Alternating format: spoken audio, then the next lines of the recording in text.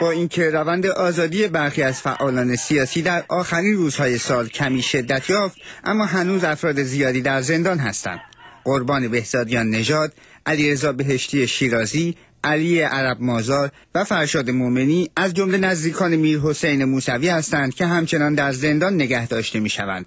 احمد زیدآبادی، اماد دین باقی، هنگامه شهیدی، محمد صادق جوادی حسار و محمد داوری هم از نزدیکان مهدی کروبی هستند که در بازداشت به سر می‌برند. غیر از این چهره های سرشناس برخی از اعضای ستادهای موسوی و کروبی در سایر شهرهای ایران نیز همچنان در بازداشتند. از جبهه مشارکت و سازمان مجاهدین انقلاب هنوز افرادی چون محسن عموزاده خلیلی، داوود سلیمانی، فیض الله عرب سرخی و مهدی محمودیان در بازداشت هستند.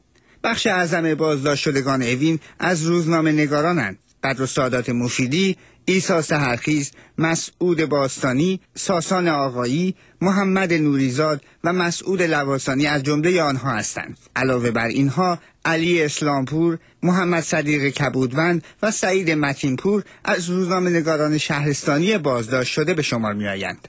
در میان برخی از روزنامه نگاران زندانی دست به اعتصاب غذا زدند.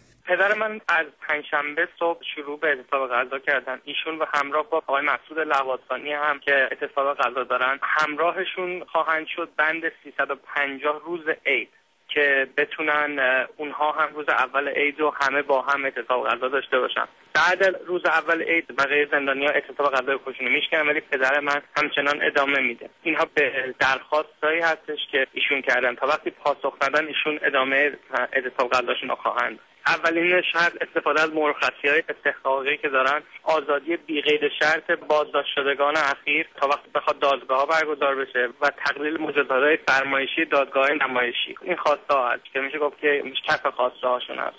از سایر اخشار هم هنوز افرادی در زندان ماندند. بهاره هدایت و علی ملیحی از ادوار تحریم وحدت هنوز زندانی هستند. منصور اوسانلو از فعالان کارگری هم همچنان در زندان به سر می‌برد. از میان فعالان مدنی افرادی چون شیوا نظر آهاری، حشمت الله تبرزدی و کاوه قاسمی کرمانشاهی در زندانند. همچنین محمد ملکی از فعالان ملی مذهبی چند ماهی است که بازداشت است. در میان دانشجویان افرادی چون تارا سپهری، علیرضا فیروزی، محمد امین ولیان و زیا نبوی در زندان ماندند. چهره فرهنگی چون جعفر پناهی کارگردان، رضا خندان نویسنده و رضا نجفی مترجم نیز در زندان بازداشت هستند.